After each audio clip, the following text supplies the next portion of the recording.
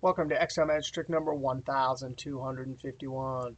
Hey, if you want to download this workbook, Excel Magic Trick 1251 to 1253 and follow along, click on the link below the video. Hey, in last video, Trick 1249, we actually built this Excel table feature to store raw data for invoicing. In this video, we saw how to set up the database and create VLOOKUP and match formulas to get invoice detail. All we want to do in this video is notice that now in this invoice number column, we have duplicates. So here we have 100, 254, 89. And we would like to get a total for each one of the invoice numbers from our balance column. Now we're actually going to do it on this separate sheet over here called sum ifs. But before we go over there, we want to look at the table name. So I'll go up to Table Tools Design. And up here, it's the same name we had last video, PO Transaction Table. So we're going to need that table name in the formula, and we're going to need the column or field name invoice number and balance. So let's go over and see how to use sum ifs and table formula nomenclature or structured references to create a total for each one of these invoices.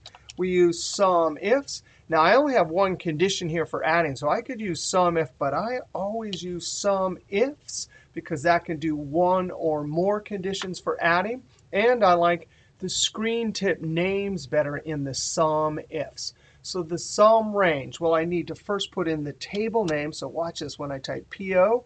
The drop down, if I arrow down, I can see that icon for the table tab. Now I type a square bracket and the field names show up. I can arrow down because I'm trying to add from balance tab. Then I close square bracket. That's the sum range. Now I need to come to the end, comma, PO down arrow tab square bracket, and the criteria range is going to be invoice number, tab, square bracket.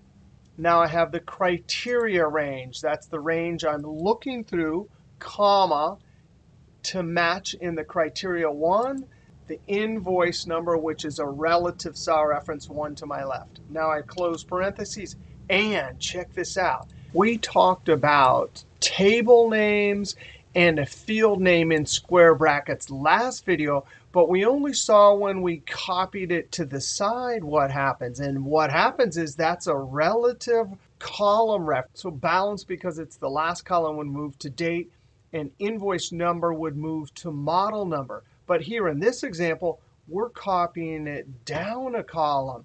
That means that the balance field is locked. So when you have table formula nomenclature, also known as structured references, table name, field name, copy it to the side, it moves relative. Copy down, it is locked or absolute. So when I control enter and double click and send it down, F2, you can see sure enough, boom, there it's locked on balance invoice number. And the A8, of course, is looking at relative cell reference 1 to my left, the invoice number. Now actually, we could remind ourselves last video when we copied table name and field name to the side, sure enough, because balance was the last column, it goes back to the first column. And of course, invoice number changed to model number. We don't need that. All right, so if you're trying to use SUMIFS to add from an Excel table feature, it's easy enough to use the SUMIFS function. Table field names in square bracket, and a relative cell reference to add with one condition. All right, next video, we'll actually see the same example again, but we'll use Power Query to generate a unique list of invoice numbers and to add the total for each invoice. All right, we'll see you next video.